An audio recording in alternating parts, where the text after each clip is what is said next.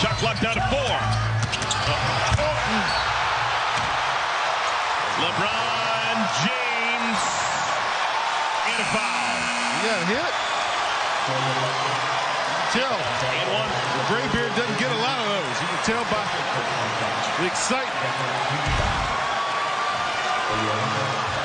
PJ was forcing him to go right. He still went left. Got a rim.